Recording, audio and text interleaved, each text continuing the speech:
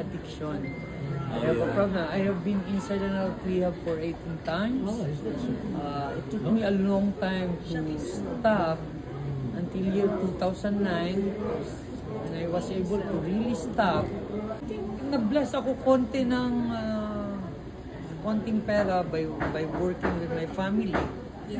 Then um, I have seen the I have seen a lot of friends of mine who are now neglected by the family who lives in the street. So kinuha ko sila. Kinuha ko sila. I put them I, I, I put them in a certain uh, apartment. I rented a house usually and that's where I put them. Uh, free food, free shelter, free fare, going to a recovery fellowship. That- That's where it started until people have known, people were recommending uh, a lot of people who need help who cannot afford to. Then, dumami sila, so I, I, I, sabi ko, we cannot, um, we cannot, hindi na sila magkakasya dun sa isang apartment, so we look for a place, a land, wherein I can rent, lag, nilagyan ko ng, uh, ng, ng, ng, ng mga nipa, ng mga uh, uh, native house, Oh, native cottages, doon na sila until my my my parents were very happy that I was able to change. So binili yung lupa, doon na dumami, as in talagang dumami. And I was not scared kasi this is what I like about helping. There was a time na when I was helping, I think more than 20 na, nauubos, naubos na yung pagkain. Ubos na, bigas. Paubos yung bigas. Three days before naubos yung bigas, somebody called me. Meron kaming isang sakong bigas dito. Ganun ko, so, wow. So I was, from then on, I was not scared to help anymore kasi there's a divine ano eh, divine help coming eh.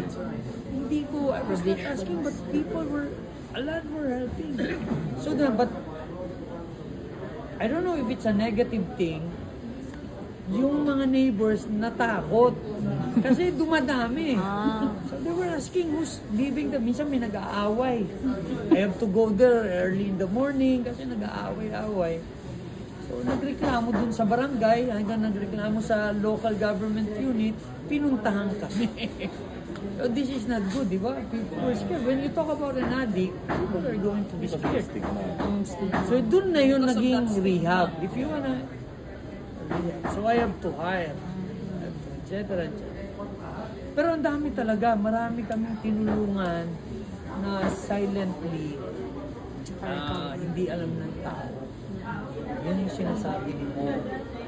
It's going to be very interesting and we will start airing them in our YouTube channel by October 1, right? Every other day. Because people will be asking, when's the next? When's the next? Yes. And how long are these episodes in average? They're short really, 20, 22, 19 minutes. But they're compact. No commercials. Yet. You know the cast, one of them was here already. Yeah. They're, Ah, magaling eh. Parang they're ano, real, they're because they're Cebuano actors.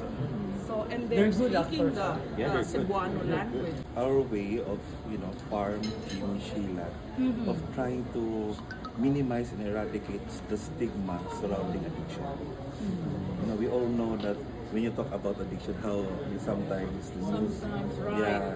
But there It's are stories Correct. behind these addictions. Why and, why. And- and you how know- they're struggling Yeah. to overcome it, right? oh, Yes. And and and if you ask each one of those patient or, or client that we have, they never plan to be an addict. That's right. Nobody wanted to be an addict. There's influence. There's there's you know there's a real story behind each addiction. It's with immense joy and pride that I welcome you all to this momentous occasion, the 10th anniversary of the Family and Recovery Management Center and the grand launching of sample productions by Farm. Management Center for Farm was established through the advocacy of its founder, Jimmy Clemente, who once struggled with a problem of addiction that wreaked havoc in his life.